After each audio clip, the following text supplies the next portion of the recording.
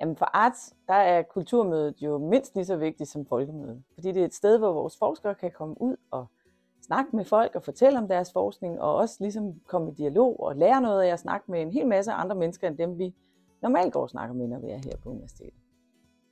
Derfor er vi også super glade for, at vi har kunne lave et fælles program mellem Aalborg Universitet, Syddansk Universitet og Aarhus Universitet, fordi det gør, at vi ligesom sammen kan være med til at sætte forskning på dagsordenen, og vi kan gøre ting sammen, vi kan lære af hinanden, og vi kan også have det sjovt sammen.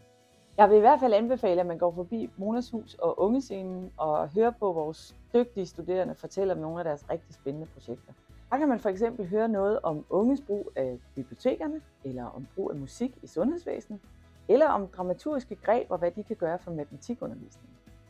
Jeg synes også, man skulle prøve at interessere sig for debatten mellem Rikke Torst Nørgaard og Svend Brinkmann, hvor de skal snakke om demokrati, dannelse og fællesskab, og hvad det kan få af betydning for vores fremtidige samfund. Og debatten i Brøndums, hvor Carsten Stage fortæller om kulturens indvirkning på sundhed, og hvordan læsegrupper og fællesskaber kan hjælpe folk i sårbare situationer.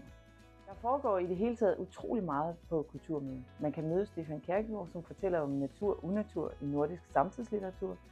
Eller man kan høre Mads Rosendal Thomsen fortælle, hvordan ord skaber mening. Og Mikkel Thor, som kommer med et bud på, hvad humanister laver. Ja, have et rigtig godt kulturmøde og gå hen og snakke med vores forskere. De vil rigtig gerne både svare på spørgsmål og også lære noget nyt.